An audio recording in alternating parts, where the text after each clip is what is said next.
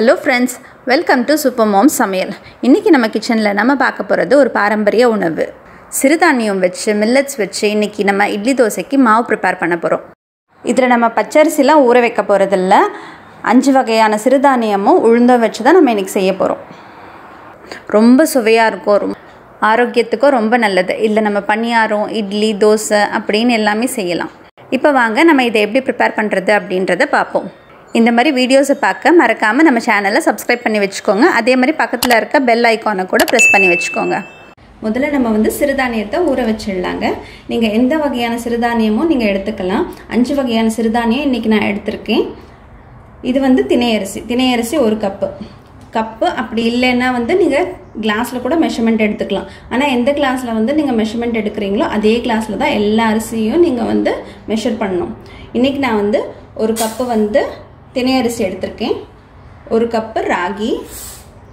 டோட்டலாக நம்ம வந்து அஞ்சு கப்பு போட போகிறோம் ஒரு கப்பு கம்பு. ஒரு கப்பு வந்து வரகரிசி. இது குதிரைவாளி அரிசி ஒரு கப்பு ஸோ இப்போ நான் டோட்டலாக வந்து ஃபைவ் கப்ஸ் வந்து சேர்த்துருக்கேன். உங்ககிட்ட எந்த சிறுதானியமாக இருந்தாலும் பரவாயில்ல. நீங்கள் அதிலேருந்து டோட்டலாக வந்து அஞ்சு கப்பு சிறுதானியம் வந்து எடுத்துக்கலாம்.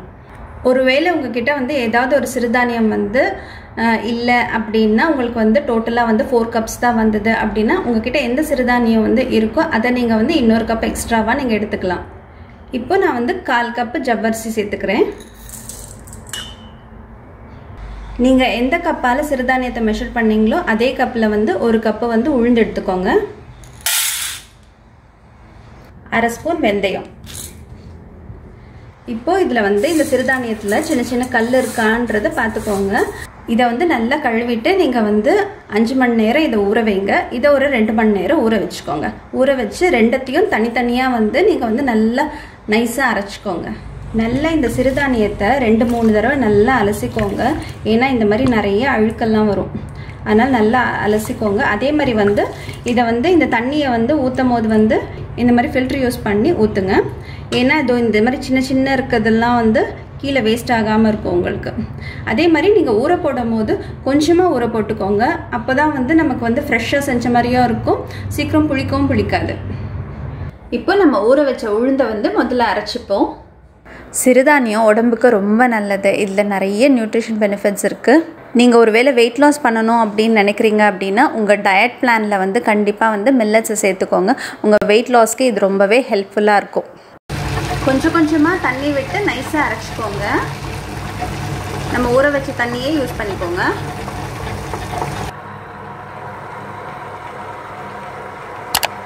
மாவு இந்த மாதிரி வந்து நைஸாக வந்து அரைக்கணும். உளுந்து. அதே மாதிரி இந்த மாதிரி உப்ரி ஆகணும் பார்த்துக்கோங்க அப்போ தான் நமக்கு இட்லி நல்லா சாஃப்டாக சூப்பராக கிடைக்கும். இப்போ இந்த மாவு வந்து ஒரு கப்பில் எடுத்து வச்சுட்டு நம்ம வந்து இப்போ சிறுதானியத்தை வந்து சேர்த்துக்கலாம். இப்போ உளுந்து மாவு வந்து நம்ம இதில் எடுத்து வச்சுட்டோம். பாருங்கள் இந்த மாதிரி இருக்கணும். இந்த மாதிரி அரைச்சிக்கோங்க. இந்த மாதிரி சவுண்ட் வரணும். அப்போ நமக்கு இட்லி வந்து சாஃப்டாக இருக்கும். இப்போ நம்ம சிறுதானியத்தை வந்து கிரைண்டரில் சேர்த்து அரைச்சிக்கலாம். இந்த தண்ணியை வேஸ்ட் பண்ணாதீங்க. இந்த தண்ணியே அதில் விட்டு அரைச்சிக்கோங்க. இதில் அயன் கண்டென்ட் அதிகம். நமக்கு ஹீமோக்ளோபின் லெவல் கம்மியாக இருக்குது அப்படின்னா நம்ம கண்டிப்பாக இந்த மில்லட்ஸ் எல்லாம் எடுத்துக்கலாம். அதே மாதிரி வந்து எலும்பு தேய்மானம் இந்த மாதிரி பிரச்சனைலாம் இருக்குது அப்படின்னா வந்து நம்ம வந்து மில்லட்ஸ் வந்து நம்ம டயட்டில் எப்போவுமே சேர்த்துக்கிறது ரொம்பவே நல்லது. ஸோ நார்மலான இட்லி தோசை செய்கிற பதில் இந்த மாதிரி மில்லட்ஸில் செஞ்சு பாருங்கள் ரொம்ப சுவையாகவும் இருக்கும் ஆரோக்கியத்துக்கும் ரொம்ப நல்லது. இந்த மாதிரி நைஸாக அரைச்சிக்கோங்க. இந்த மாதிரி சிறுதானியம்லாம் நைஸாக அரைச்சதுக்கப்புறம் இப்போ வந்து நம்ம உளுந்து மாவு எடுத்து வச்சோம் இல்லையா? அதில் இதை போட்டுட்டு ரெண்டத்தையும் சேர்த்து கைவிட்டு நல்லா கலந்துக்கோங்க. கைவிட்டு கலந்தீங்க அப்படின்னா தான் வந்து மாவு வந்து சீக்கிரம் வந்து புளிக்கும். இந்த மாதிரி இருக்கணும். இப்போ நான் இந்த மாவில் உப்பு எதுவும் கலக்க போகிறதில்ல நான் இப்படியே வெளியிலே வந்து ஆறு மணி நேரம் புளிக்க வைக்க போகிறேன் அதுக்கப்புறம் அப்படியே எடுத்து ஃப்ரிட்ஜில் எடுத்து வச்சுருவேன். நாளைக்கு காலையில் வந்து இது எப்படி பொங்கியிருக்கு அப்படின்றத பார்ப்போம். நேற்று நம்ம சிறுதானியத்துக்கு மாவு அரைச்சோம் இல்லைங்க. அந்த மாவை வந்து நான் ஆறு மணி நேரம் வந்து வெளியில் வச்சேன். இதில் எந்த உப்பும் நான் கலக்கலை. வெளியில் வச்சதுக்கப்புறம் ஆறு மணி நேரத்துக்கு அப்புறம் நான் வந்து இதை ஃப்ரிட்ஜில் வச்சுட்டேன். இன்றைக்கி காலையில் எடுத்து பார்க்கும்போது இது அழகாக பொங்கியிருக்கு.